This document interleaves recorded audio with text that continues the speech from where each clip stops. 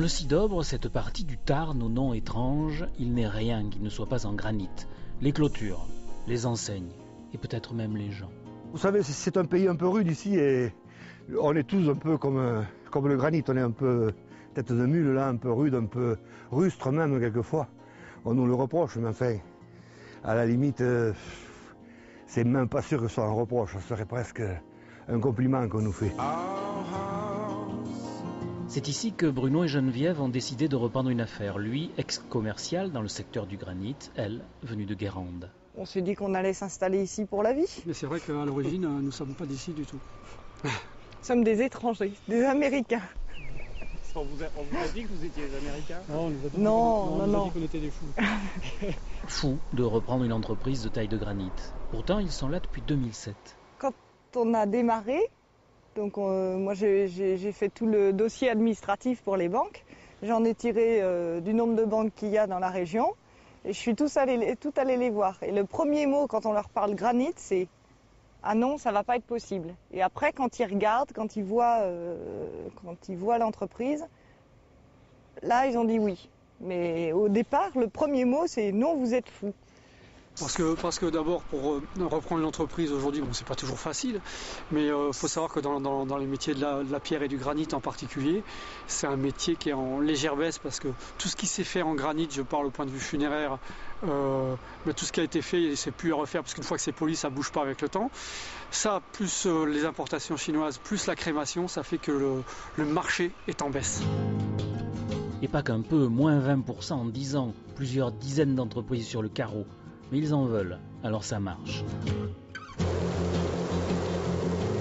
L'entreprise travaille sur mesure et Bruno le commercial a tout appris en quelques mois avec les anciens. On a une clientèle, euh, clientèle fidèle. on va dire, mmh. qui, qui, est composée de marbriers essentiellement. Après ça, on a une clientèle particulière pour tout ce qui est décoration. Et euh, bon, à partir du moment où le travail est vraiment propre, bien fait, etc., on s'aperçoit que, que, les gens, que les gens y reviennent. Une entreprise, quand on la reprend, elle, n'a de valeur que par ses salariés et par sa clientèle. Ça, c'est vraiment la base. Donc là, il se trouve que les salariés sont vraiment des gars qui sont très concernés par ce qu'ils font. La clientèle était vraiment une clientèle euh, très ancienne et très fidèle. Geneviève et Bruno se battent surtout. La qualité, la rapidité, les livraisons, ils y croient dur comme du granit. Et le Cidobre les a séduits.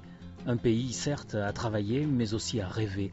Écoutez Joe, l'étonnant président de l'Office de tourisme. Hey, à un moment elle était là dans le ciel, prête à redescendre, prête à monter, prête à redescendre. Clac Un grand rayon de, soleil qui a traversé le dos et s'est mise à tournoyer, tournoyer, tournoyer. Et depuis, elle est là, comme ça. Et voilà, elle est devenue ce bel oiseau qu'on voit ici. Voilà. Je sais que c'est une histoire triste, mais c'est la vraie histoire de l'oie. C'est celui que je trouve le plus Il raconte les légendes, mais aussi la vie d'avant, dont il sait lire les rides. Ce granit a été transposé dans les cimetières, d'abord taillé à la main, de, façon un peu grenue, un, peu rustique. Et ensuite, il a été poli.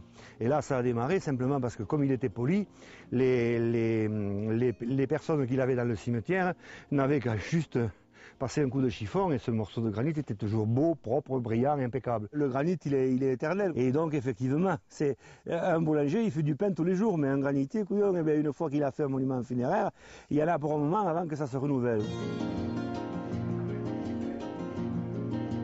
Ce mélange de dureté et de tendresse ne s'exprimera jamais mieux que dans un travail d'artiste, comme celui de Jacques Bourges. Taillé avec des outils forgés de sa main, cette sculpture est là pour qu'on n'oublie jamais que le granit a modelé ce pays.